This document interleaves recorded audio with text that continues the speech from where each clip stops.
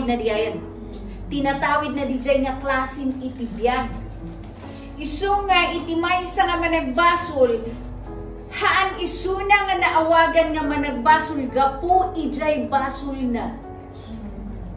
No dikat gapu ijay nature nga tinawid na. Isu nga inya, kas parigan ko man ni mo, no inya ti tinawid mo ko ni tatang mo, dijay ka. Get it? Haan nga jay katataom, dijay ka ay ni anak ni Dayta ni Kastoy Kastoy. Anak ni Kastoy iso nga kasta isuna. See? Iti pundasyon na di Jay Jay tinawid mo. Uray niya kinasingsingpot mo once nga nagkamali ka, ma-blurred amin Jay na singpot. Ma-erase. Jay nakita na ka ni tatang mo, nakita na kanya may bagada kas Jay gamin ni tatang na. Ngam hindi nagaramit ka tinapinta sa dangay baga nga ay nagmayat ti ugali na sabsabali ka ni tatang na. If I do right, no one remembers. If I do wrong, everybody remembers. Diba? Kas Jay, no inya, iso nga ni Jay tinatawid kayo nga, nga nature because gapoy si basol nga nangyari sa Garden of Eden iti. Now, there was a change. There was a change iti nature iti may sa tao no awaton na ni Jesus Christ as His own personal Lord and Savior. Acknowledge Jesus as your Lord, kunana. Totally nga ag-change iti nature mo. Kuna karod no inya tinawid mo isu ti nature mo isu ti mang iparwar jay ka uugalim. Isu iti mang iparwar jay kinasi asinom. No inya jay tinawid mo. No inya jay inawat mo. Katinaawat tayo di kayan anak tayo, awan ti mabalinta talaga nga kasay. No, there was a change. Di inawat mo ni Jesus Christ as your personal Lord and Savior, sin has no longer dominion over you. Sin per se. Sin kan itibunga na. Kaya't nangasawan, uray naman nagbasol iso na no inawat na ni Jesus Christ as His personal Lord and Savior, haanan isuna nga managbasol. Amen? Ta isu ti inawat nan nga nature. And then rumuaron jay bunga na, no inya jay inawat mo nga nature, isu iti rumuar nga bunga.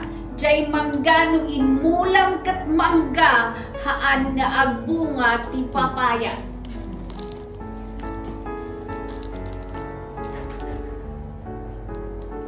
Turay at balibaliktad ka manggalata. Amen? No naalsong jay puon na, naalsong jay pungon. Na nasamit jay bunga na, nasamit jay bunga jay. Na nasamit jay bukol na, nasamit jay bunga na, bukol na. Okay, now, DJ, isu nga, di nga rod, you choose tani Apo Diyos han nga tatalian ti tunggad mo, ka ibaga na umay ka, sumunod ka. He has given us a choice. Tano kung mahanda tayo nga inikan iti choice at ipay balod tayo. Kat karay baga na nga, in Him is freedom. Know the truth and the truth shall set you free. Amen? Freedom. Freedom. The only thing is to receive and to believe na nagbaling ka makasjay. Jay bunga na, syempre, adamot aya kayo, nga no ay aywana mo katan nga bunga. Han nga agsabong, haan nga napintas isabong na. Amen? Paul said, For sin shall not have dominion over you, for you are not under law but under grace. Under the Lord Jesus Christ. Amen? Verse 12. Isu nga tibunga na Jay nang awatan ka ni Jesus Christ, haanin nga sin di mang kontrol kinyam.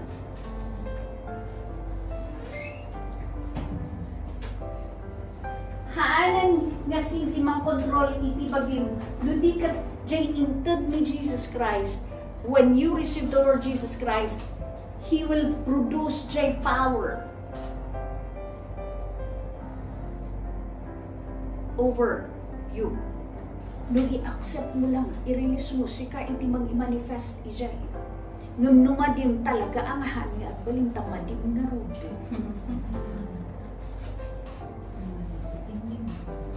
At dakinyam, it is your choice. And we are talking about the fruit. Agbunga na ito'y haan ka nga agdanag. Tanagadadoy tinay amang madi nga no inawat da ni Jesus Christ kat nagbalindan nga righteous. Ti kayat da agbaliw da pa'y umuna sa danto agbalin nga righteous. No inminom ka iti danom. Makitang ba dagdagos jay effect na num ada jay danom kinyam. Rumor nga rumor jay effect ti danom ag isbu ka, iruar mo jay rugit. Amen? Uray nga awan nang kita nga nag-inom ka iti danom. Nga makikita na nga mga kaisis mo. See? It does come out. Ngum no itatapo lang dyan isbum, apero mo dyan isbum. Sakit ti rumor. Aglingkat ka pa iti uray lang ha. Nakakabunga pa error sa ismo. Amen? So, sin has no longer dominion over you. Isuway nga automatic nga dapat ko ma awan. Awan. Ngam si kay ti mang i-accept ijay. Di ko nga be still and know that I am God nagrigat ti agbistin. That's why you do the battle. Amen? There is a battle going on, Jay, sitting down still. Kunada kanyam, you go and take a nap and take a rest. Ngam na pang ka nagida, sigurado ka ba nga nag-rest ka? Mahal niya. Nagida nga yung kinamo, ding! Sambali dere yung panunutan ag an andarag. It's a battle to stay in rest. Amen. Kat kung natin yung pinalpas ni Jesus Christ, pinalpas na, iso nga sin has no longer dominion over me. Because the blood of Jesus has paid. Iso nga jay sin kang tibungan na nabayadan. Cursed is he who hangeth on a tree. Gusto nga hanak na naka-curse. Amen? Tainlan sa ni Jesus Christ the curse. He became poor that I will become rich. He became poor that I will become rich. Ulit ako nun. He became poor that I will become rich. Amen. Amen.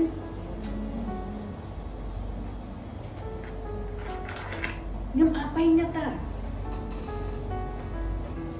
Utang is a curse. It leads to poverty.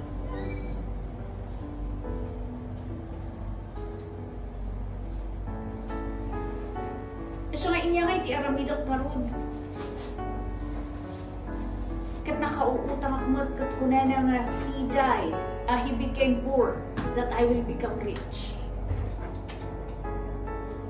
I-accept mo na rich ka. Amen. Fight the good fight of faith iti faith adugi no awan kinyam dijay. No adda kinyam haan na faith. Iti Colossians 3.5 Colossians 3.5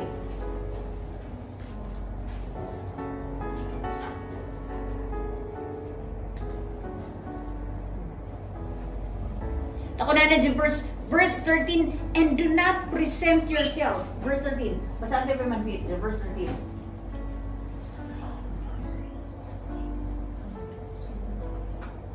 Romans 6, 13.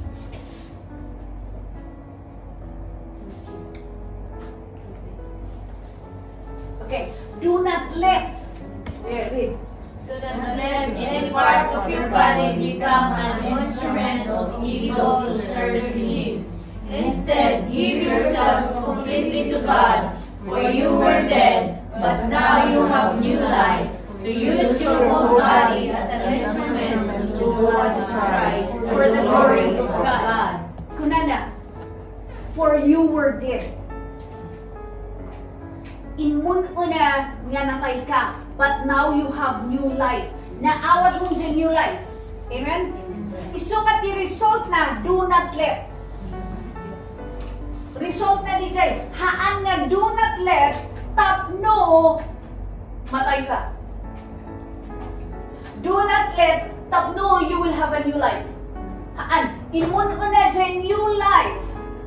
Tapno ada ti foundation mo not to let any part of your body become slave to sin or an instrument. Kasi noon una ang DJ han ko ti concentration mo an han ko ar aramidan dayto ita basol han ko ar aramidan dayto ita basol na bandog kanton jay kaban bandog mo ar aramidon ta na bandog ka nga magibagbaga gahan mo ar aramidan di ita basol Ngam no ti concentrate mo I have a new life. I have a new life. Nagmaya. I have a new life. Agbulbulong, agbungbunga. Umat atidog jay ramot na. Rum-rum rin kanyang automatic. Urehan mo ngay baga, nga do not, I will not let this part of my body automatic. Tadi jay itibunga na jay new life in Christ. Amen? So, kailangan ibilib ko nga, I have a new life that I was dead. Nakipatayan ko ni Kristo. Not on your water baptism, but when you receive the Lord Jesus Christ as your personal Lord and Savior, nakipatay ka, ijay patay na. It is a spiritual way. Men are spirit beings living in a body ngam haan nga jay bagi iti agturay no di jay spirit. Amen.